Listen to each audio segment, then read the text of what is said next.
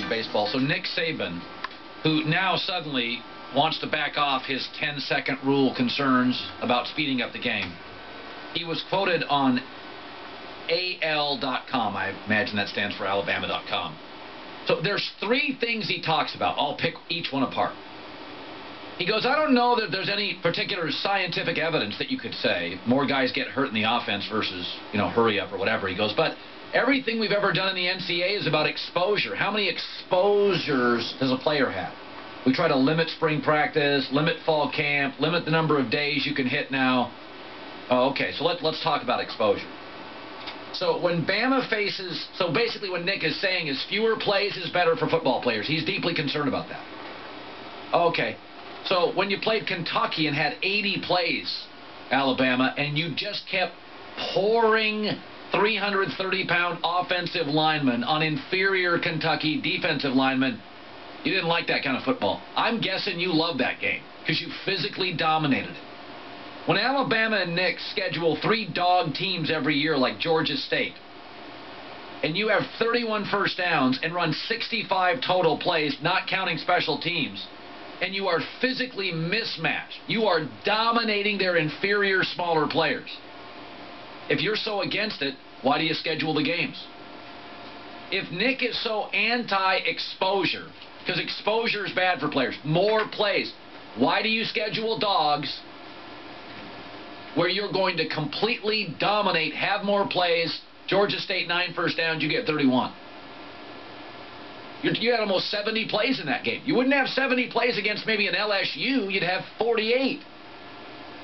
Why schedule, if you're really deeply concerned about exposure to plays, why do you schedule games in which you're facing smaller, inferior teams and you can dominate time of possession?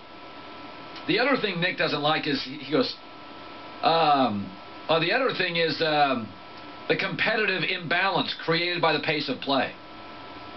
The the creative, the competitive imbalance. Oh, okay. Okay, so so you're worried about competitive balance. You've scheduled Chattanooga, Georgia State, Florida Atlantic, West Carolina, Western Kentucky, North Texas, Kent State, Colorado State. You know going into those games you're going to win by 50 points. You're not worried about competitive balance. You're not worried about exposure plays. In 2012, your offensive line, I have it here, averaged the same height and weight as the New York Giants. Yet you scheduled Florida Atlantic so you could pummel them for 65 plays against their smaller borderline Division One players. I don't buy into this. You're concerned because old school football is 335 pound offensive linemen and it takes them out of the game no huddle. It takes your defensive front seven, your strength of your program, and it limits its dominance. They're tired. It makes you play smaller. That's what Oklahoma did to you. That's what Auburn did to you. You don't like that. It's not exposure. It's not competitive imbalance. You don't care about that stuff.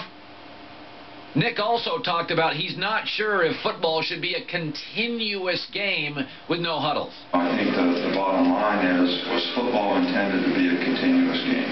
Soccer's a continuous game, rugby's a continuous game, but for the physical elements that are involved in playing a football game and the number of plays that you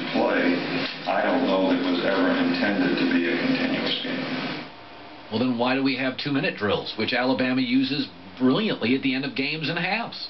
That's a continuous game for two minutes and 38 seconds. I've seen I've seen Nick do a lot of end of half, end of quarter, end of game, two and three minute. You're okay with continuous football then, but you just don't like it when it goes beyond that. So you want to control the continuous part. By the way, Dean Smith did the four corners. Paul Westhead at Loyola averaged 122 a game. Even if you ran no huddle, the other team doesn't have to. Who says you got to control somebody else's tempo? Control your own. If you're concerned about it, then you do huddles. You slow it down for your players. I mean, this is the dinosaur complaining about animals evolving to fly. If you don't want to fly, don't fly. Now, by the way, the NFL has used real data because I am for the safety. If, if, if speeding it up hurts more players, then slow it down.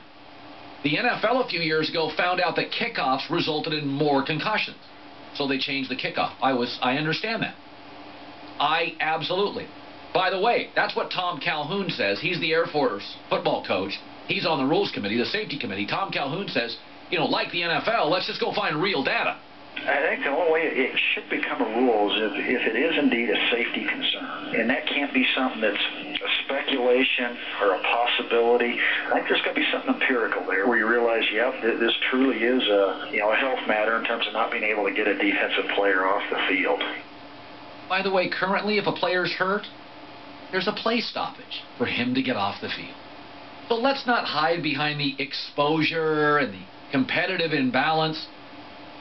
You're feeding your players to get to 338, scheduling Chattanooga, whose defensive linemen are 288, and you're pummeling them with 58, 68, 70 plays a game. This is all about diminishing Alabama's dominance in the front seven, which has been his calling card, in which they've been just unbelievable at producing NFL level talent. Good for them. But everything changes. NBA rule changes, NFL rule changes. Let's just call it what it is fear. And by the way, Auburn, as I predicted before, is going to be a major thorn in Alabama. They're going to be a mate because they're going to do this no huddle better than anybody. This Gus Malzahn's new. Now you give him another off season, another spring camp, another fall camp with his quarterback.